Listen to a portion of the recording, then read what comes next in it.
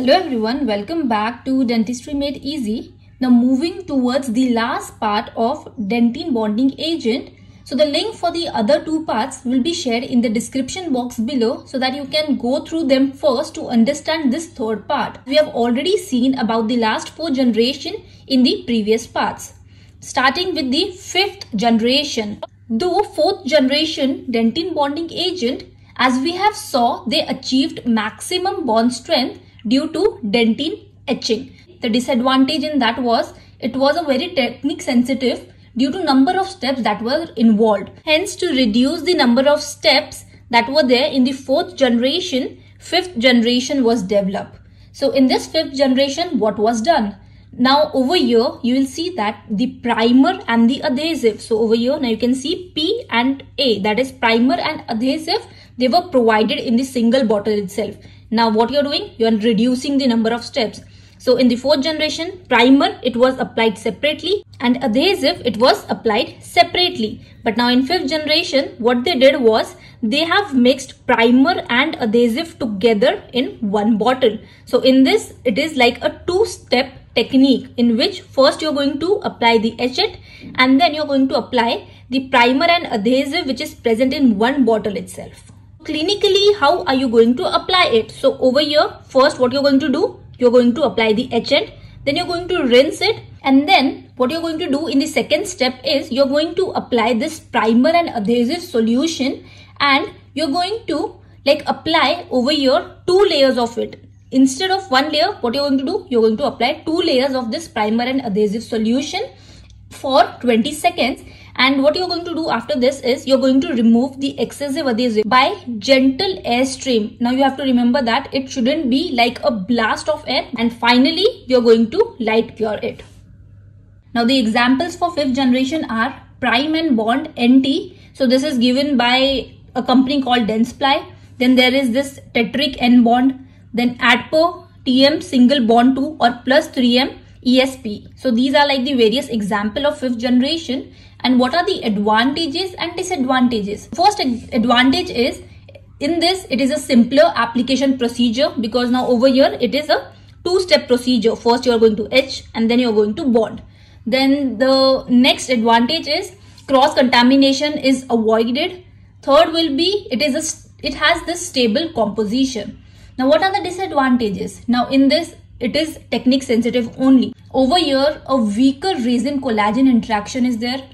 Now the next disadvantage is in this the bond strength is less when you're comparing it with the fourth generation. So in this somewhere it is about 3 to 25 MPa whereas in fourth generation even some of the agent they had like the bond strength of 30 MPa. So that was all about the fifth generation. Now moving on towards the sixth generation. So now further demand of simplification of clinical step, they lead to the development of sixth generation. Now what was the major disadvantage of this fifth generation or you can say fourth generation? So the major disadvantage was to maintain the moist dentine for application of primer and adhesive and thus it was overcome by what you're going to do in the sixth generation. You're going to omit the step of etch and rinse so in this the solution which was mixed together was now you can see over here the etchant and primer it was mixed together. And the adhesive it was present in separate bottle. Now you have to remember this very well. In fifth generation what you're going to do? You're going to apply etchant as a separate step and the primer and adhesive they are mixed together. Whereas in the sixth generation it is etchant and primer. It is mixed together and the adhesive it is applied like as a separate step and it is present in separate bottle. And because of this sixth generation is known as self-etching primers. In this sixth generation there are two categories which are available. So the first one is over here. It is a two-step system with two components which means now you have this two steps that is the first bottle is containing and primer that will be your first step and the next step will be you are applying the adhesive separately so because of this it is a two step system and you have two components Now the next category is it is a single step system. So what do you mean by single step system? So it is a single step two component. That means you have this two bottles only that is the etchant and primer one and the adhesive one. But now in this what you were doing is you were applying first you were applying this etchant and primer and then you applied this adhesive. Now whereas in this single step what you're going to do is you're going to mix both the component together and you're going to apply it as a single step. So you're going to take a droplet of this bottle and droplet of this bottle. Then you're going to mix it properly prior to application and you're going to apply this mixture at once and then you're going to light cure it. So this means it is a single step system. Now as we said earlier that in this sixth generation what we are doing we are eliminating the etching procedure so in this, the etchant and primer, they are mixed together. So what are the advantages of eliminating the etching procedure? So the first one will be, it is a clinician friendly procedure. The next is, it is less technique sensitive. Why? Because the main problem lies in the etching and rinsing. So if it is over dried, so we have seen about this in the fourth generation that it can be over dried or it can be over wet why? Because we are like removing the etchant with the help of water. But now in this sixth generation you are omitting this step only. So because of that it is less technique sensitive. So over here i'll show you this thing with the diagram. So this is the dentine which is there over here you have done the preparation so because of this this is the smear layer so this is the smear layer and this is the dentine. Over here you have the smear plug. So this is your smear plug. So this was the first step that you do that you apply the primer and etchant together and because of this only that you have your primer which is mixed in etchant you are not going to rinse and the last will be the application of adhesive so the application of adhesive layer and on this you have the application of composite. So this is your hybrid layer which is formed. So what exactly hybrid layer is we have already covered it. So this is your hybrid layer. Over this hybrid layer you have your adhesive and over your adhesive now you have your composite. So in this you'll also see that there is this resin impregnated smear plug which is present. Over here, this self-etching primers, what are they? They are the acidic primers. So they are the acidic primers.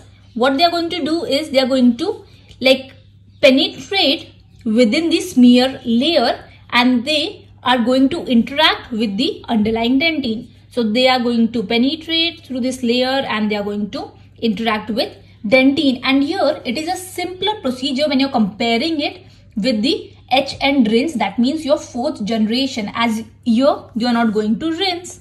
So that is the main advantage in this sixth generation. So these self-etching primer it contains strong acids. So they contain strong acids like HEMA, MDP, then you have HEMA phosphate. So these are like very strong acids that are present in the sixth generation self-etching primers. Basically, they are nothing but they are very similar to the third generation dentine bonding agent. But the only difference you'll see that the third generation dentine bonding agent, they could not etch beyond the smear layer because they were mild acid. So they were 5 to 10 weight percentage. So third generation agents, they were having this weight. Whereas the sixth generation, now over here, they are very highly acidic and the weight you can say is 30 to 40 weight percentage. But now this two-step, two-component self-etching primer, it resulted in discrepancy between the depth of demineralization by primer and the depth of adhesive resin penetration. So because of that only, they have evolved into another process of doing it into a single step two component self-etching primer. So in this way, they removed the minerals from the dentine but also simultaneously they replaced it with the resin monomers and because of this there were no voids and as there are no voids, there is less micro leakage and less post-operative sensitivity. The two-step, two-component adhesive, it is also known as non-rinsing conditioner or self-priming etchant. Examples are Clearfil SE bond. The next example is Adhe SE. So this is given by a company called Ivoclar. The third example is the OptiBond Solo plus Self Etch. So these are like the various examples for two-step, two-component adhesive system. This particular self-etching primers, so they are used in the pediatric patients, uncooperative patient because we want to reduce the time of doing that particular restoration. And it is also used in class 5 and deep class 2 restoration. Why? because in such situations isolation is very difficult so because of this only you're using self-etching primer in such conditions now what are the example of this particular single step system?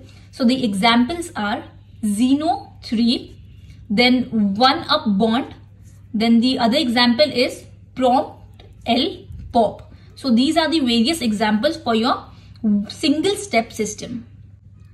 Now, what are the advantages and disadvantages of this sixth generation? So, the advantages are you're going to eliminate. So, over here, the main advantage is you're eliminating that rinsing step and the drying step. So, because of that, the possibility of over drying and over wetting, so it is not there. The next advantage is it is less technique sensitive and it is time saving. In this, there is like simultaneous demineralization and resin penetration as we have said earlier then in this, there is effective dentine desensitizer. Now, as I said, there are no voids which are going to be present in this. And because of that, the post-operative dentin sensitivity, it is going to be reduced. But now what are the disadvantages of this sixth generation? So in this, most self-etch system, it contains water. But now if it is having water, so it is going to influence your polymerization adversely. The next disadvantage is in this, the seal of enamel margin, it may be compromised. Then the next disadvantage is they are incompatible with the auto or the chemical curing composites. You are unable to use this particular system with the auto or chemical curing composite. Now the other disadvantage is so the shelf life, it is reduced. And in this, it is very difficult to evenly coat the agent. Then it is comparatively, the bond strength in this is lower when you're comparing it with the fourth and fifth generation. Then it absorbs water, which leads to the leaching of the unpolymerized monomers. And one more major disadvantage is, so it produces a very thin adhesive layer over the hybrid like layer so the layer which is formed is 10 to 15 microns by this particular agent whereas the desirable thickness that we want to act as a shock absorber is 15 microns. Now lastly starting with the seventh generation. So to further simplify the clinical step that is you're mixing it. So in sixth generation also we have seen that we are mixing it or we are going to apply it as two step. So to simplify it now this generation it was introduced. So this generation basically is where you're combining all the three components in one bottle. So in fifth and sixth generation there were two bottles.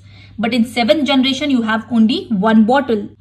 So it is the combination of all the three components in one bottle. And it was introduced in late 2000s whereas the sixth generation it was introduced in early 2000s and fifth generation it was introduced in 1990s so yes definitely the seventh generation in this the clinical steps they were simplified. But now as we say everything comes with a price. So there were several shortcomings too with this seventh generation. The first problem was due to its complex nature why? Because now everything is mixed into one bottle so due to this complex nature of solution, they are more prone to phase separation. So this was the first like disadvantage or shortcoming you can say. The next is it forms droplets within the adhesive layer. And the third uh, disadvantage or shortcoming is now this adhesive layer, it acts as a semi-permeable membrane and this permits the bidirectional water currents. So because of this, the bond strength, it was reduced when you're comparing it with the fifth, sixth generation or the fourth generation. So what are the advantages and disadvantages of this particular seventh generation? So the advantages now it is time efficient. Why? Everything is in one bottle. Then it prevents the cross contamination. Why? Because now you are not going to etch then you're not going to rinse. Everything is like omitted. Then there is less dentin sensitivity. Now what are the disadvantages? So disadvantages is again it is incompatible with the auto or the chemical curing composite. So you cannot use this seventh generation in such like composite situations. Then it has less bond strength.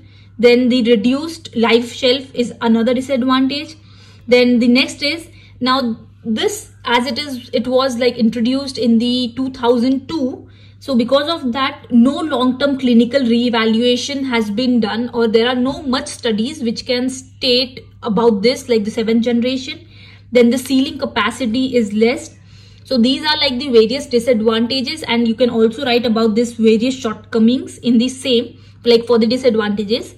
Now what are the examples for seventh generation? So the examples are single bond universal adhesive which is given by company 3M then there is Xeno 4, Clearfil S3 Bond Plus and another example will be Adper Easy 1. So these are like the various examples for 7th generation.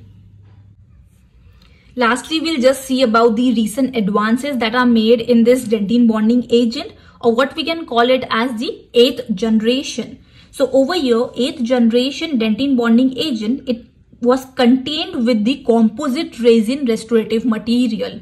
So they are known as the self-etching, self-adhering flowable composite technology. Eighth generation, again it was one bottle and it was compatible with total etch or selective etch like curing composite. So the seventh generation dentin bonding agent they were not compatible with the selective etch composite resins whereas the 8th generation were made such that they are overcoming this particular problem of the 7th generation and the examples for this 8th generation or the recent advances are Futurabond DC, they are the nano fillers, they are the self-etching dual cure adhesive the other example is Surpass Universal, All Bond Universal. So these are like the recent advances which are made. So that was all about it, all about dentin Bonding Agent. I hope you found this video helpful. And if you did, then please like, comment, share and do subscribe to my channel. Thank you so much.